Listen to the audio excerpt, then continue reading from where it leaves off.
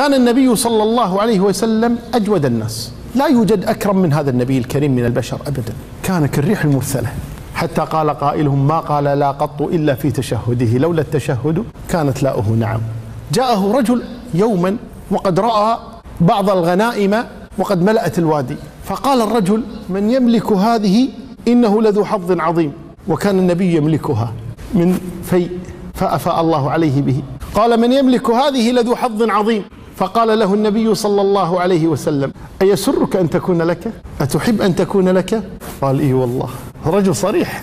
قال إي والله يسرني ذلك. قال فإنها لك. قال أتهزأ بي؟ أتهزأ بي؟ قال لا.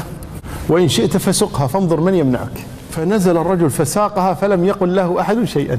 وساقها وانطلق فيها. فدخل على قومه فقال يا قوم ادخلوا في دين محمد فإنه يعطي عطاء من لا يخشى الفقر.